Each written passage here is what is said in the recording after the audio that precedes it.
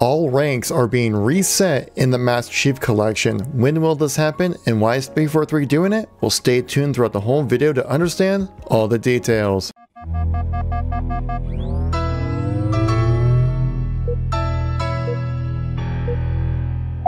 How's it going everybody? It's Kevin here once again giving our news informational video when it comes to Halo. If you like these news and informational videos, please make sure to tap that like button as it lets me know you want to see some more content like this and it greatly helps this video get more notoriety so more people get to stay in the know with everything going on in Halo. And yes, you heard me right. The Master Chief Collection ranks are going to be reset. All those ranks you worked so hard on to try to get up to your 50s, your highest rank possible, well that's gonna be all cleared out. The dev update update posted on Friday from Postums goes into details why this is happening. The reason why this is happening is because in the back end of the matchmaking system within the MCC, they're kicking out an old system and bringing in a new one. This new system will be able to calculate your competitive skill rank or your CSR better than it was previously. Essentially, the old system had some kind of old cobweb, as quoted, nuanced bugs within it that really kind of hindered the experience of really trying to give you the best matches you could possibly find.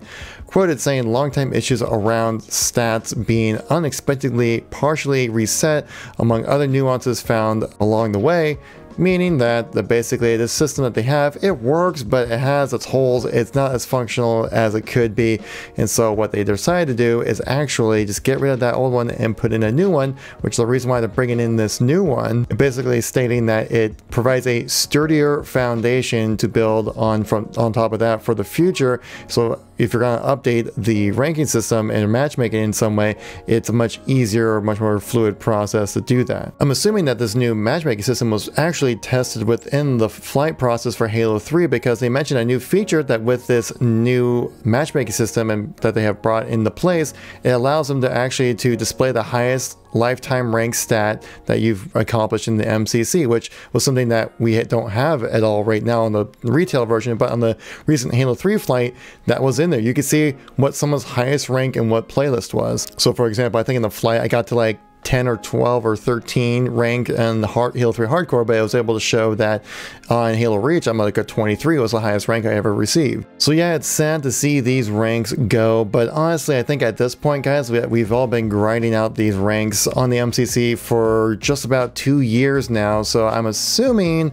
that you probably all gotten to the point you want to get, and honestly, like a refresh on these stats might actually be very welcome. For me, personally, I would actually really like it, as right now, for me on Halo Halo 3 on MCC trying to play hardcore matches, I can't find any matches because I'm a level 9. I was too busy grinding out Halo 5 ranks back in the day, so I didn't catch up to the herd where most people are like, if you're in the 30s, you can find matches just fine. Because if I remember correctly, that you have to be a plus or minus 10 rank of whatever mode you're playing in, those are the people you'll match against. And if there's not enough people within your rank, well then you're not going to be finding any games. So could this revive previously deceased, I guess, if you will, ranks modes like Halo Reach is hardcore, Halo CE, even Halo 2's.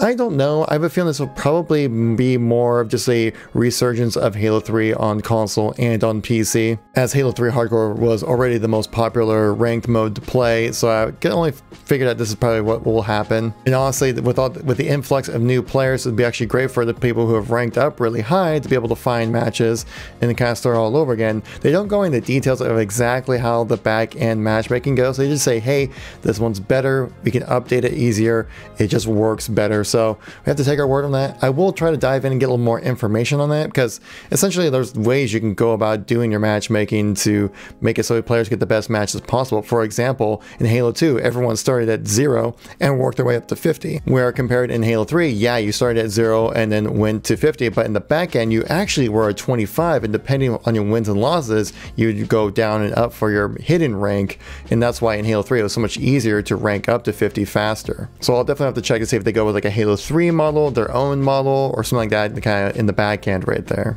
So now you're probably thinking, oh god, my ranks are being reset. When is this happening? I'm freaking the heck out. Well, this is going to happen with the release of Halo 3 on PC. Now, there is currently no date announced at the time of making this video.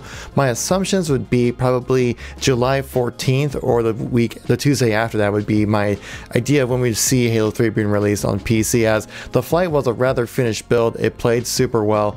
I enjoyed myself a lot. I could definitely see myself grinding out content playing this a ton. So let me know in the comment section down below, guys. Are you actually excited to have your ranks reset in the MCC? Or are you upset about it? Or do you think it's be good or better for the game? Let me know. I do read all the comments and try to reply to most of them as well.